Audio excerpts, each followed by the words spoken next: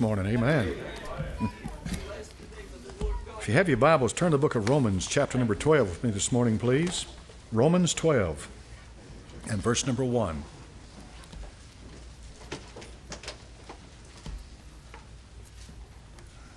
The epistle of the Apostle Paul to the church believers in Rome.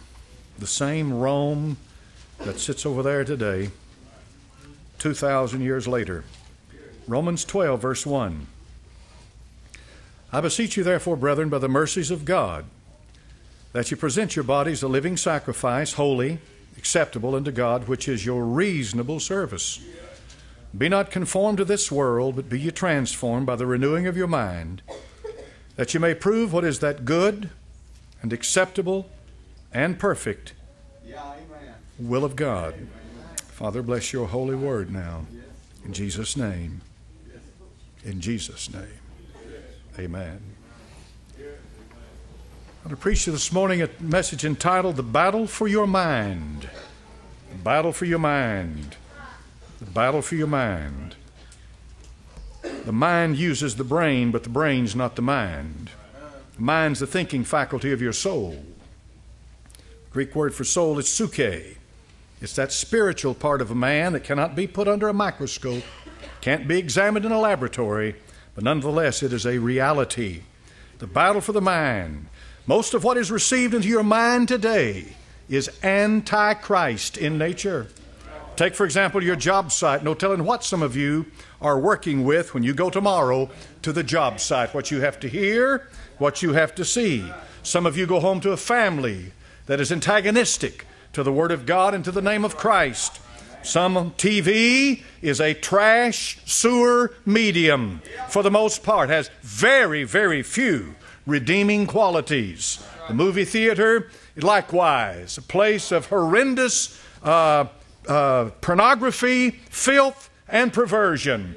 The news media today is pumping out 24 7 one constant lie after another, all of it based upon rejection of God. The educational system today, as you know as well as I do, is one of the worst places in the world for a young child to be placed, but that's where they go. And the government puts its demand on your children that they be trained and educated by their system. Facebook, for example, is a gossiper's paradise. Facebook can be used for a good thing. Mostly it is for a bad thing. The internet, we have a web page, but folks, the internet is full of filth. It's full of godlessness. The internet is a horrible place if you just get on there and not know where you're going. Twitter. I don't tweet, but do you tweet? Some folks want to tweet on Twitter. I understand that's what they do. I don't read it. I got, I got too much to do to sit on all these sites. Believe me, I do.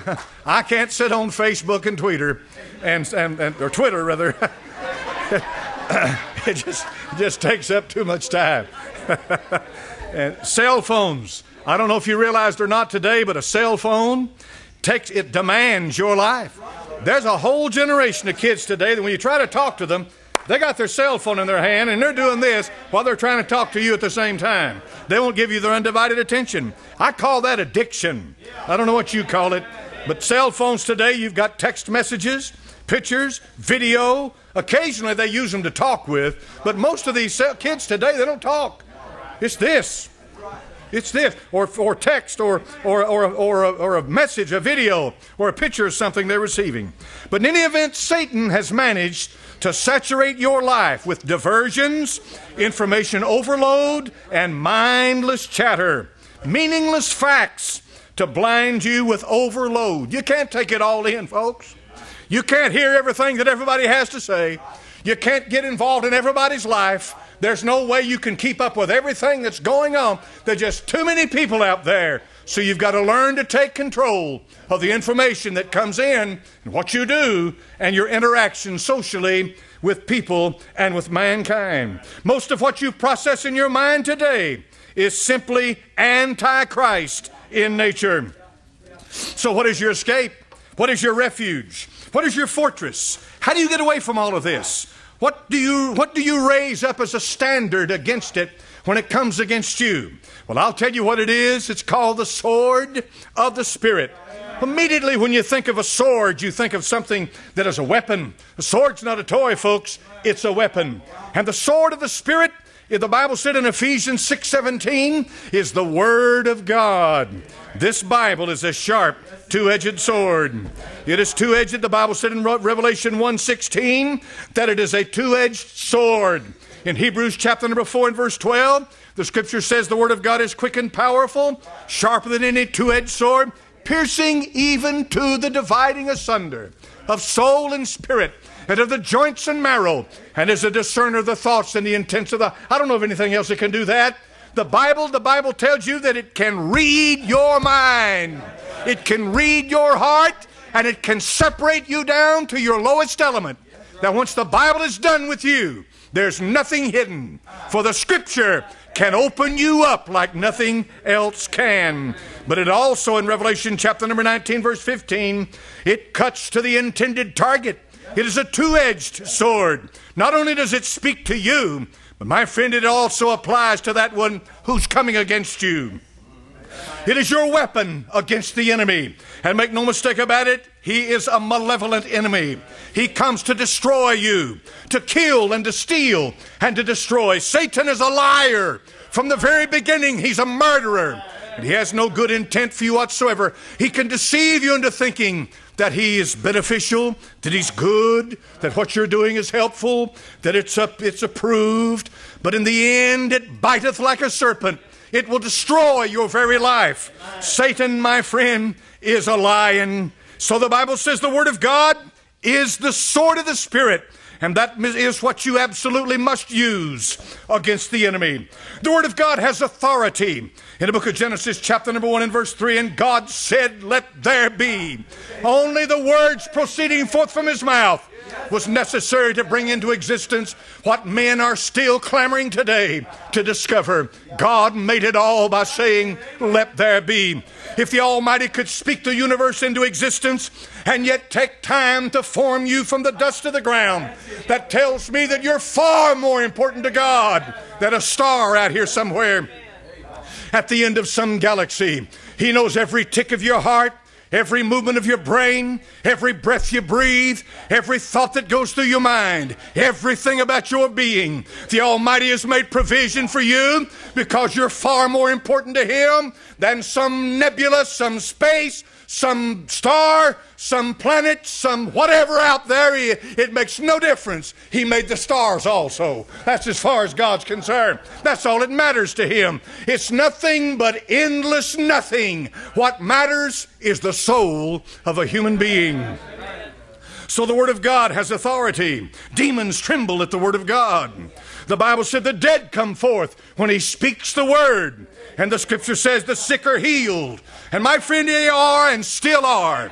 Nothing has changed about His Word.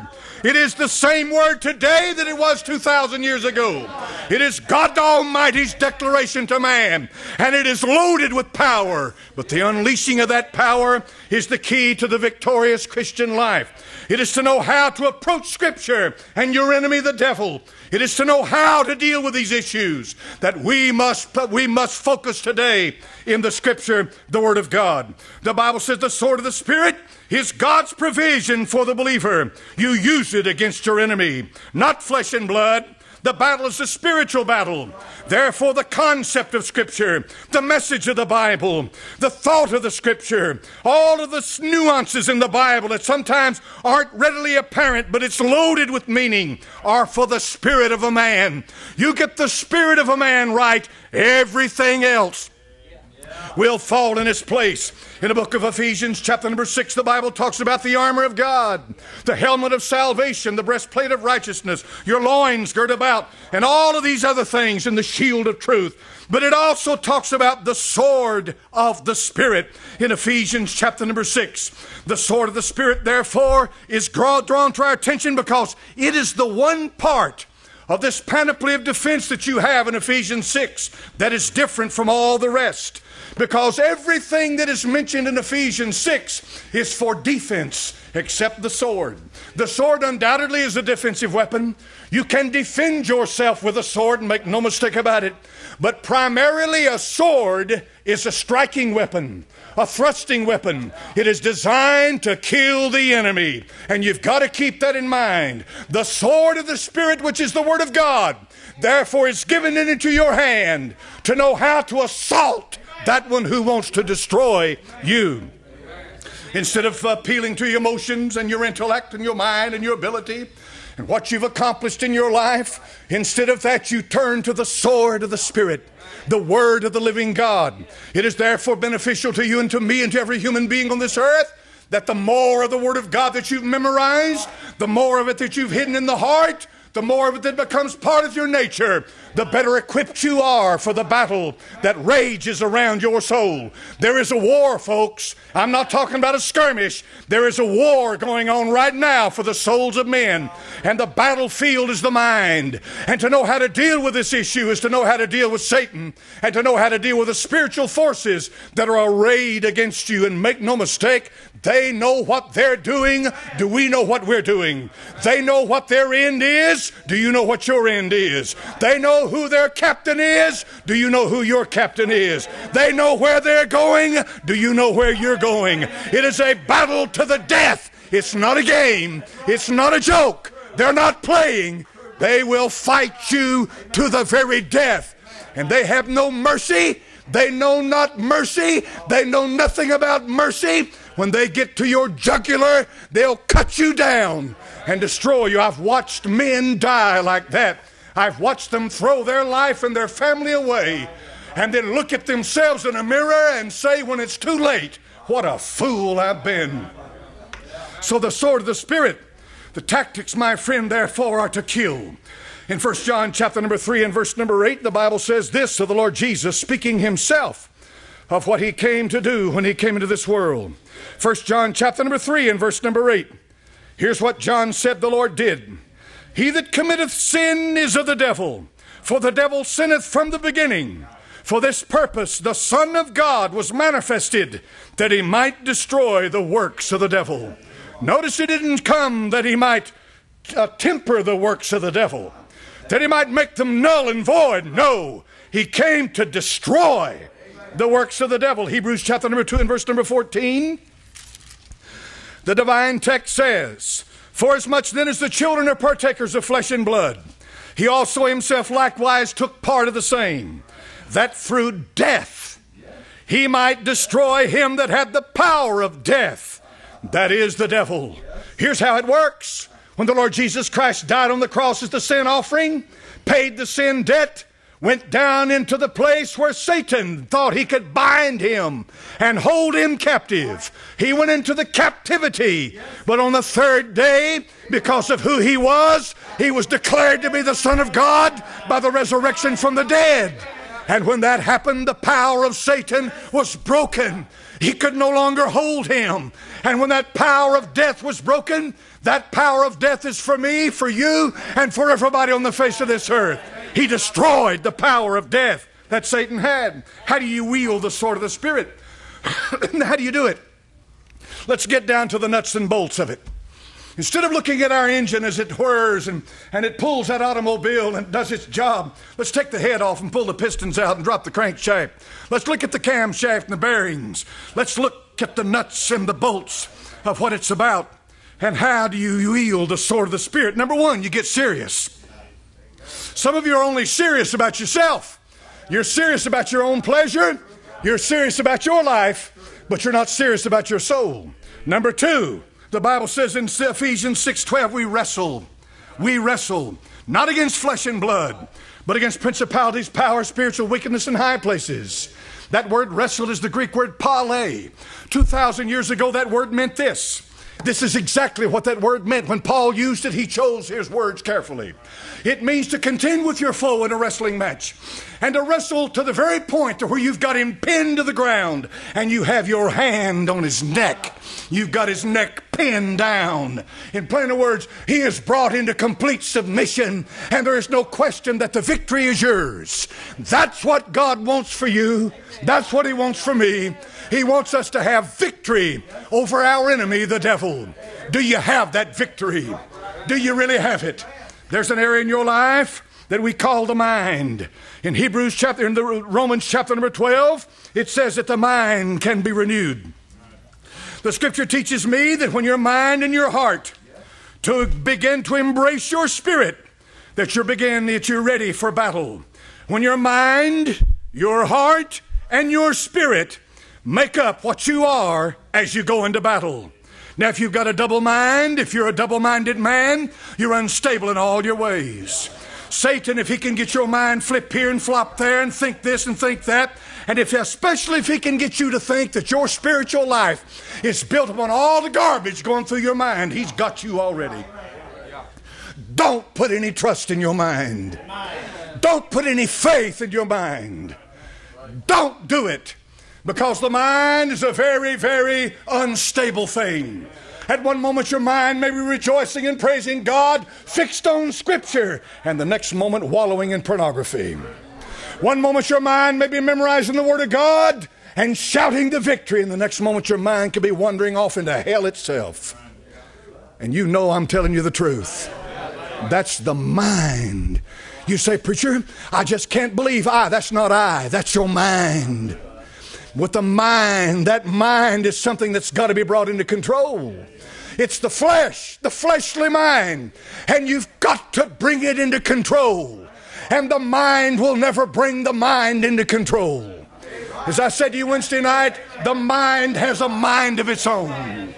Your mind is incapable of bringing your mind into right thinking. Well, how in the world do you do it, preacher? There is a power greater than your mind. Thanks be unto God today that there is a power far greater than your mind. What's that, preacher? It's the Word of God, the Spirit, the sword of the Spirit.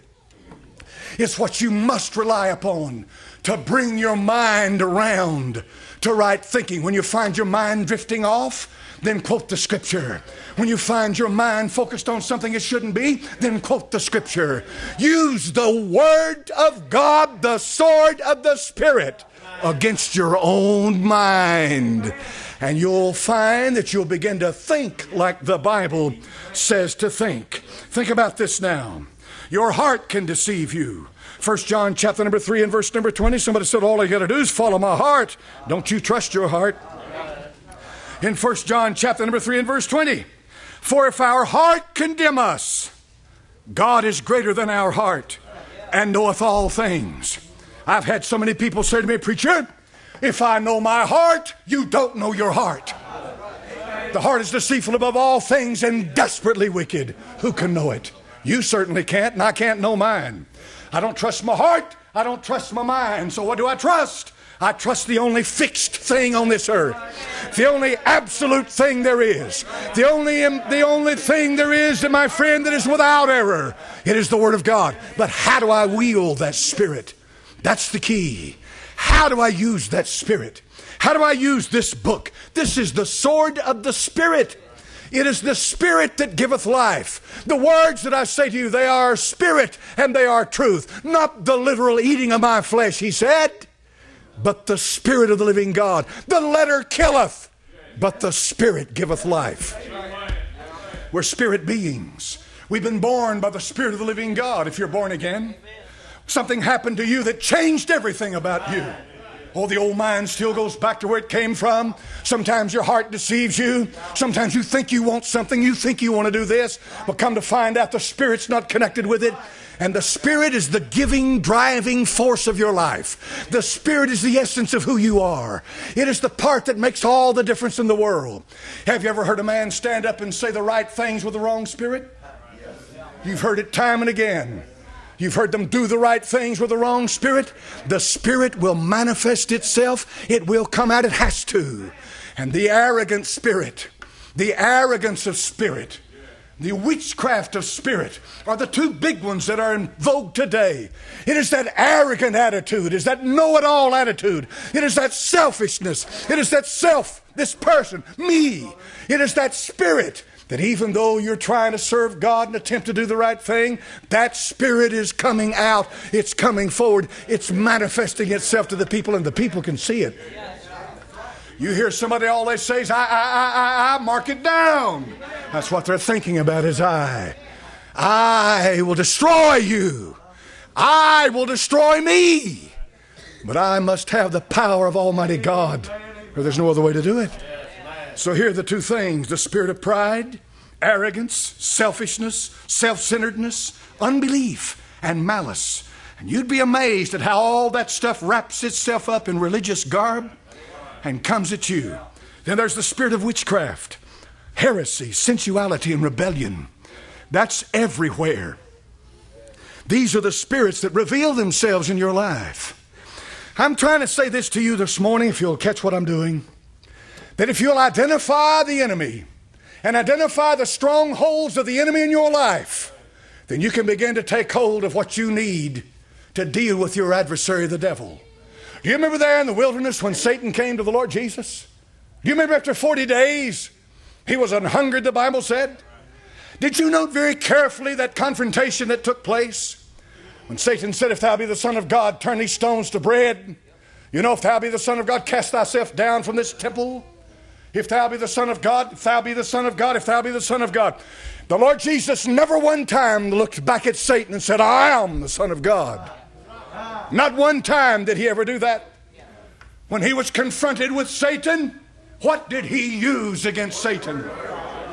He made the confrontation not between Satan and Christ, though Christ is perfect, unlike any other, like any of us. There's nothing in him that Satan could have found, but it was not that. He made the confrontation of Satan with Christ instead of made it into Satan and the Word of God. He brought the Word of God before Satan. Satan had to contend with the living Word of the living God. When he had to contend with the living Word of the living God, he backed off. But note carefully the Lord Jesus Christ said, The prince of this world cometh and hath no part in me. The reason when he made that statement that he hath no part in me, he wanted them to understand there is nothing in me that he can put his finger on to condemn me, to accuse me before the Father. There's no stronghold in my life, there's no door in my soul, there's nothing that he can gain entrance to. Not so with us. Not so with us. When our adversary, the devil, comes after us to sift our mind, to sift us, to destroy us. He knows your weaknesses.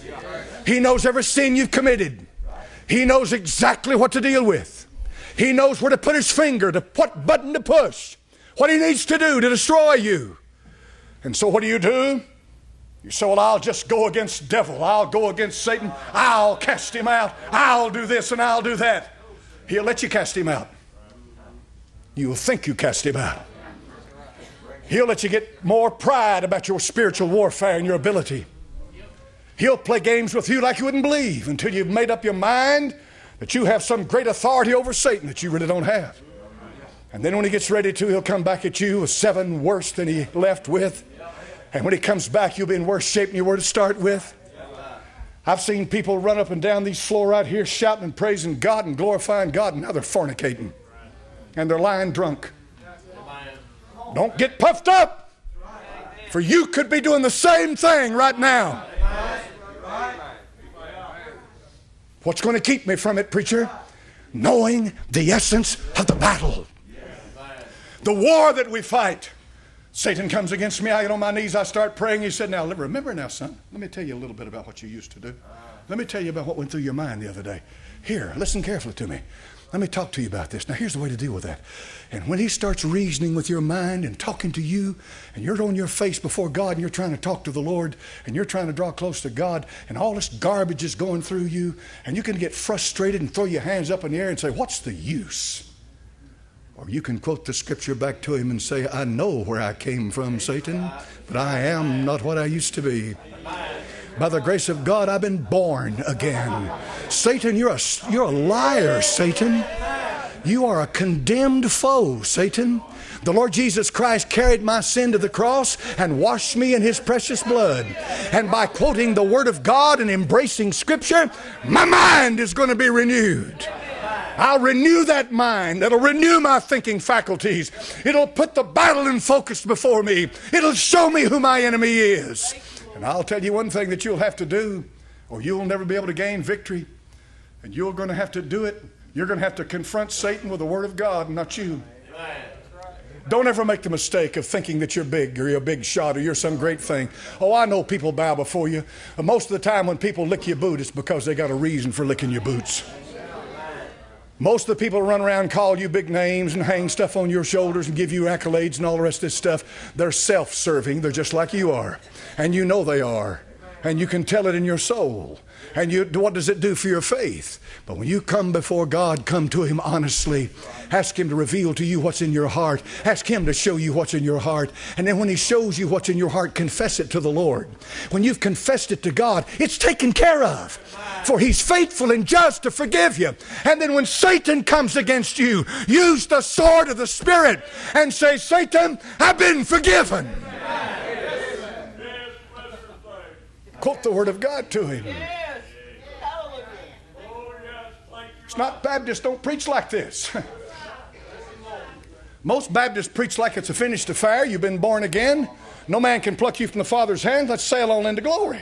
None of us are perfect, you know. We got a few warts and bumps. That's okay. We're all going to the same place. Glory to God. Thank God for eternal security. Now sit down your own eternal security and have a good time while you're here on this earth. That's the message you get from a lot of Baptist churches. That's a lie straight out of hell. Examine yourself to see whether you be in the faith. Work out your own salvation with fear and trembling. It didn't say work for your salvation, said work it out. If you've been born again, there are marks of a true believer. We are created into Christ Jesus unto good works. My trust is not in eternal security. My trust is in Christ. And I've got to learn how to trust Him every day. I've got to learn how to appropriate Him every living moment. I've got to learn how to love Him and exalt Him and adore Him. And He's my God. I've got to do that every day. You cannot live by a doctrine. You must live by a personal living relationship with the Son of God. Do I believe in eternal security? Absolutely.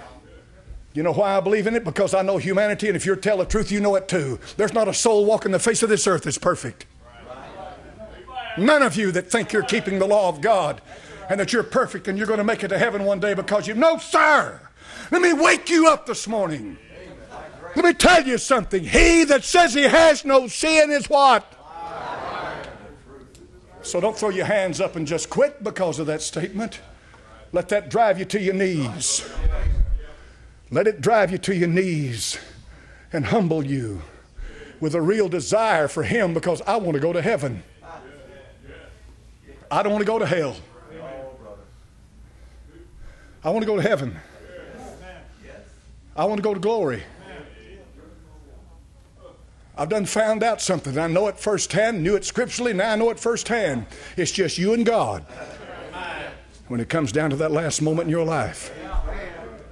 Are you ready? Just you and the Lord. I want to go to heaven. How are you going to get there, preacher? Jesus. That's easy. That's the easy part. I'll tell you real fast how I'm going to heaven. Jesus. Jesus. Not something that somebody told me happened to me 40, 50 years ago down the road. Somebody in Bible school led me to the Lord, or somebody prayed a sinner's prayer with me, or I prayed some prayer 50, 60 years ago. No! Who is Jesus right now in your soul? Is he your living Savior? Is he your Lord God Almighty? Or have you just been living a lie all these years? When the Lord Jesus confronted Satan, because Satan confronted him, the Lord did not seek out Satan, Satan sought him out. The Lord Jesus was not looking for the devil, the devil was looking for him. If you don't get anything else from the message this morning, please get this. Here was the sinless, perfect Son of God who said, There is none good but the Father. When he was here on this earth 2,000 years ago, he did not confront Satan on his own merit.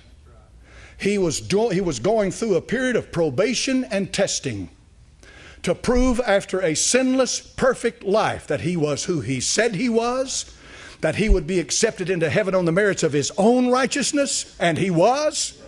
That God exalted him to his right hand, glory to God, because he is the sinless, perfect Son of God, proven to be that by the life that he lived.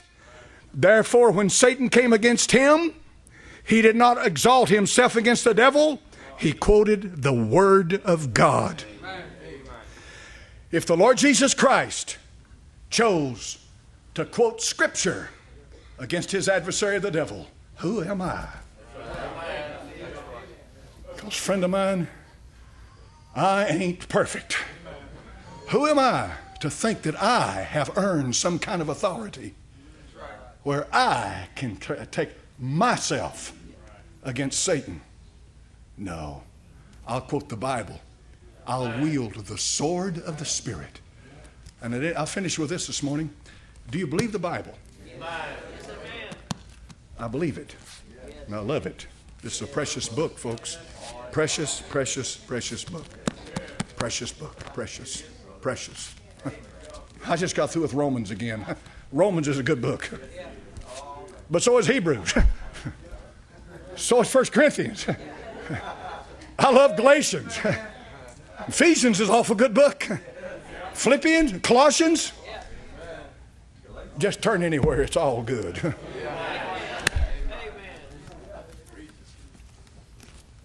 Quote that to him, not out of the heart of a hypocrite, but out of the heart of a believer. He'll have no more issues with you. Father, in thy name we pray. Jesus' sake, I ask it. Lord, I've stood for you again. Lord, I pray that I please you. And I glorify your holy name, Savior. And God, you know, Lord, that I know that it's not about me. They've just heard the messenger this morning. That's all I am. I'm just the messenger. But now, Lord, it's between them and you. It's not about Preacher Lawson, it's about them and you. And I hope, I pray, Lord, hope that it helps some folks. I hope they get help. I hope, hope some folks in here that have been struggling and battling and never really understood the nature of the battle. Now they're beginning to understand it. They begin to see it. Maybe through Christ and what he went through between him and Satan. They can begin to understand now the nature of the real battle, the war that's being fought. In Jesus' name we pray. For Jesus' sake we ask it. Amen. Let's stand up and sing, brother. Page 375 in your All American.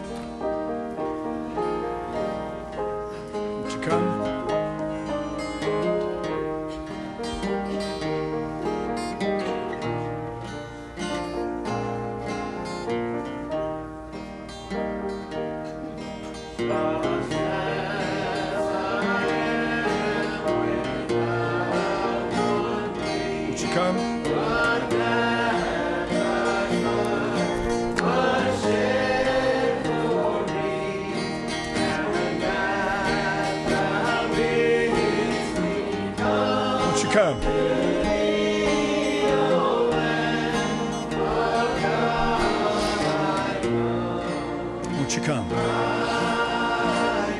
Folks, listen to me, please. We make a big mistake, a grave error in listening to each other too much. Read this book and listen to it, it'll talk to you. This book will always lead you to God. Sing another verse. You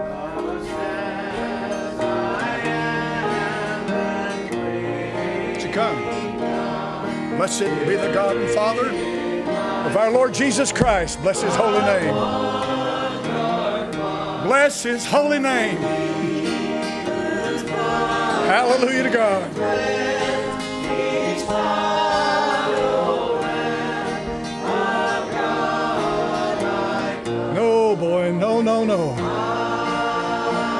It's not my place to convict or condemn anybody. That's the work of God. I'm the messenger. I'm comfortable with that part. That's what I'm called to do. I'll leave the one that searches the heart, tries the reins, divides you up to what you are. I'll let him talk to you. Amen. That takes a huge load off me. Sing another verse, brother.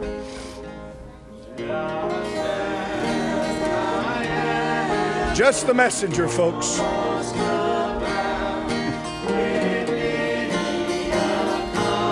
happy at that. Just the messenger.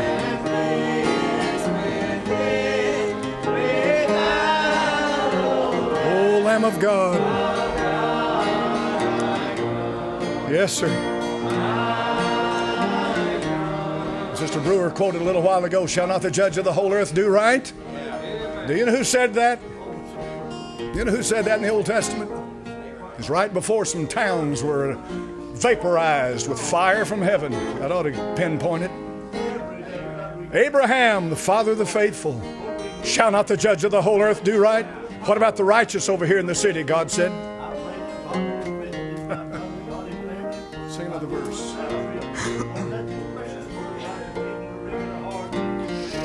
He'll do right. He'll do right. He'll do right.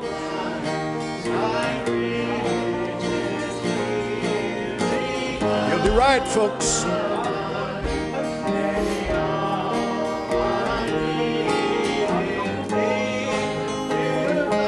Shall not the judge of the whole earth do right? Oh, yes.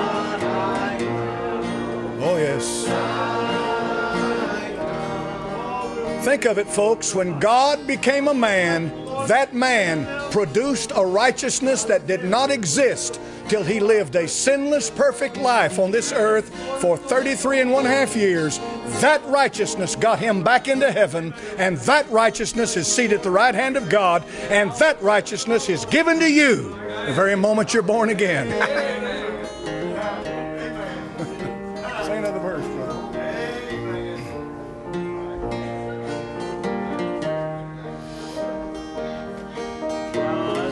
Not having my own righteousness, the apostle said. No way. Forget me. Righteousness of a sinless, perfect man.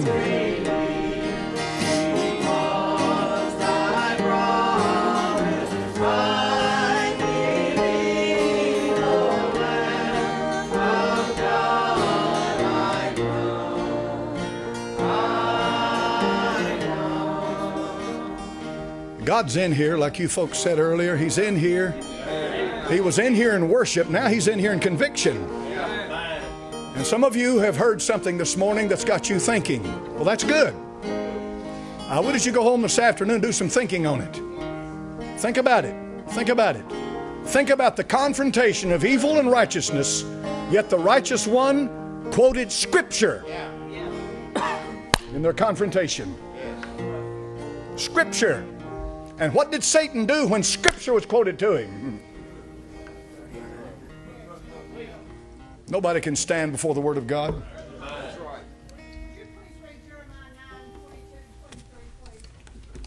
Jeremiah 9, 22 and 23. Well, 9, 23, yeah. Thus saith the Lord. Jeremiah 9,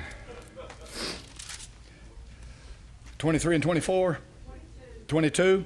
Speak, thus saith the Lord, even the carcasses of men shall fall as dung upon the open field, and as the handful after the harvestman, and none shall gather them. Thus saith the Lord, let not the wise man glory in his wisdom, neither let the mighty man glory in his might. Let not the rich man glory in his riches. I can read this next one. But let him that glorieth glory in this, that he understandeth and knoweth me, that I am the Lord, which exercise loving kindness, judgment, and righteousness in the earth. For in these things I delight, saith the Lord. Bless his holy name. Bless the name. Glory to God. I don't get righteousness from a man. I don't get judgment from a man. I don't get peace from men. But him, yes. Yes. And you can too. You can too.